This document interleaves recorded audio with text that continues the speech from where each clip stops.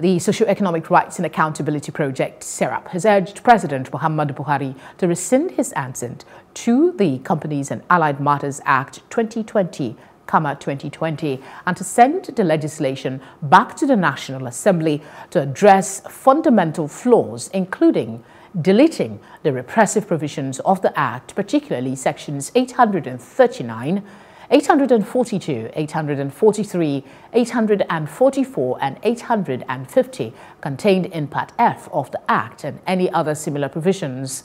This was contained in a letter signed by the organization's Deputy Director, Kolawole Oluwadare. SERAP also urged President Buhari to instruct the Registrar General of the Corporate Affairs Commission, Garba Abubakar, and the Attorney General of the Federation and Minister of Justice, Abubakar Malami SAN, not to implement or enforce the CAMA 2020 until the legislation is repealed by the National Assembly and brought in line with the Constitution of Nigeria 1999 as amended and Nigeria's international human rights obligations. Joining us now to discuss the 2020 CAMA Act is economist Gbolahan Olojede. Thank you very much, Mr. Olojede, for joining us. The yeah, good morning. Thanks for having me. Good morning to you as well. Now, we know the Act has elicited different reactions. For someone yet unsure what the controversy is about, explain as briefly as you can the issue of property, ownership, and the Board of Trustees, because these seems to be the crux of the matter, aren't they? Um, I'm, I'm, not so sure if that is the most important uh, contentious issue uh, here. Um, the Act did not specifically uh, seek to repeal the existing laws on, property ownership anyway. Um, but what seems to be the hottest uh, uh, uh part of the contention is the uh, powers given to the, the CAC to be able to appoint managers for these NGOs, uh, and that includes the, the religious organizations. So you have a situation of contradiction in one part. Um, on one part, you say there are certain multi-layer steps that you need to take before you can appoint a manager. In another part of the same uh, uh act, you empowered the CAC to actually appoint a manager for this uh, institution. That, that's a contradiction.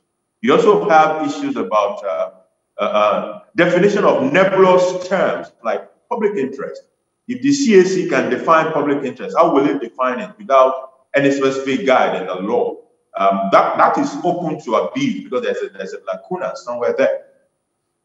Um, I, I, I, think there is a genuine fear on the part of the NGO that if we do not carefully draft um, a, a, law that requires appointment of, um, of, uh, uh, of managers, um, we might have a situation in which uh, a wrong manager might be mischievously uh, appointed for those those institutions. I, th- I think this is the hottest. This seems to be the hottest part of, of the contention. Okay, uh, the Constitution empowers uh, freedom of association in groups, or uh, you know, um, however we want to come together.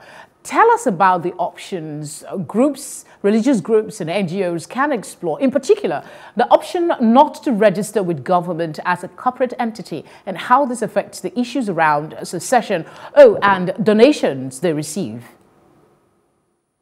Um, I, I, am not sure that you can actually survive um, without any form of registration because the question will be how do you now have that separate entity kind of uh, situation, how will you be able to open an account with a bank uh, in the name of an organization that is not registered? Because one of the first things that the bank will ask you are the incorporation document of that organization.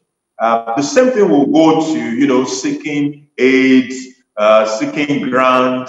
You know, you want to be able to sue and be sued in your own name. How do you do that without registration? So within the Act, you can you can incorporate, you can, can um, register as an incorporated trustee, or you can be a company limited by guarantee. But a lot of people tend to run away from companies limited to guarantee because the conditions are more onerous. Uh, you have to have the attorney general endorse it and all that stuff. So people people don't particularly uh, go for that. The incorporated trustees are the uh, most uh, the easier path to getting registered as, as, as uh, an NGO. All right, beyond the anger embedded in the condemnation of the act by groups like CAN, uh, some argue is a deep mistrust of government misuse of such powers as is being granted by the act itself. Do you agree? You're right on the money. Um, the, the main issue is that distrust. If you leave a lacuna in a legislation like this, or you provide contradictions within the legislation, you might have a government that will be reasonable enough and will not abuse Uh, uh, uh, such such a lacuna or, or contradiction. But you might also have a government or government representative who will exploit it for a negative purpose, for mischief, for abuse. And that is why it is not exactly proper to leave the drafting as it is for those relevant sections that we're talking about. Not because of today, but you never know what tomorrow will be like. Somebody might exploit deliberately those lacuna for the negative uh, uh, uh, use, uh, and, and, that will not go well. Are there no checks in this act that might, you know, tamper that uh, power? Uh, there might be. Um, even in the, in the normal practice of law, there, there will be something that temporary. For example, if you have drafted an improper law, the court will not allow you to benefit from your incompetence of drafting. So you might say where there are contradictions, the court will interpret that contradiction in favor of the defendant. But the question is, why do we want to give room for all this legislation when we can, in fact, make an amendment to the law in itself and avoid having to make the court make all this determination by just having a properly drafted law in place. If there is a need for an amendment of a law, let's amend those relevant sections. As a matter of fact, the CAMA is over 600 pages of document, uh, uh, 600 pages document. We cannot say um, condemn that kind of a document because there are uh, some clauses that need amendment. If they need amendment, let's go right ahead and, and, and, and amend those relevant sections. That, that, that would be my view. All right. There are instances, I mean, there's been some citation about some churches uh, that have been investigated and even indicted abroad, many with origin in Nigeria. And we also know that most of them comply with similar regulations uh, abroad. Uh, some, some of these religious leaders have been asked this same question. Why the vehement opposition here to such regulations, which a lot of persons uh, say that it's not as bad if it is to protect the interest of the people who are part of such organization, especially when it comes to money, property, and the likes? Well, um, one, one of the reasons is mistrust. Um, there, is, there is this mutual mistrust between government and this institution. Uh, some think there might be an abuse of the process. That is one. Number two is a natural resistance to change. Now we have we are we're in an environment where we're not used to public scrutiny of churches and church affairs.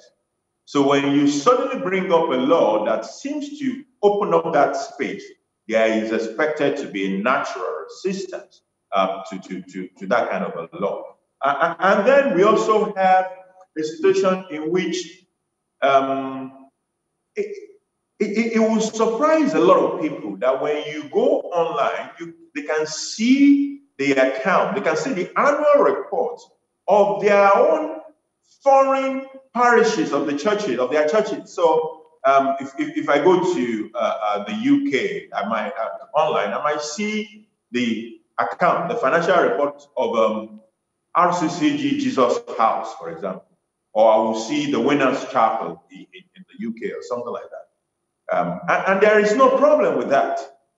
So the question is, why don't we also want that here? Or is that what we are rejecting? Or what we are rejecting is just the issue of appointment of managers? Because in the real sense, there is need for more transparency in how NGOs are run in Nigeria, especially from the financial perspective. Um, the, the, the, it's, it's a bit on the opaque side. And we have to remember that these are trustees who hold assets on behalf of the beneficiary.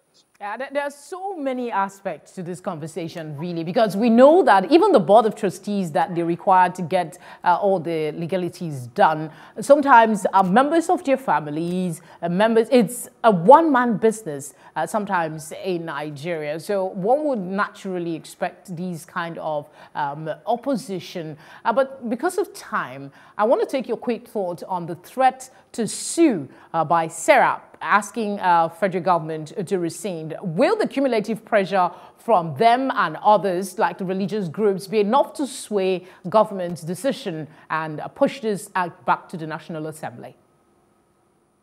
Well, it's, it's within the right of Serap uh, to go to the court, let them go to the court. But I think beyond the issue of going to the court, what we should be thinking about um, is amending whatever uh, clause we feel um, has not been properly drafted.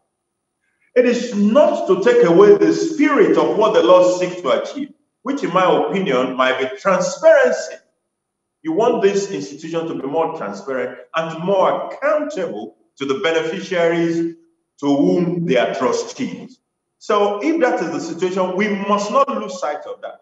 But whatever lacuna uh, or, or contradiction currently exists in the law as it is, we need to fix that. And, and, and, and that is um, what, what, what, how I think we need to all right, Gbolahan, thank you very, very much, as always, for the insights you provide to the conversation. Thanks for having me. Have a lovely day.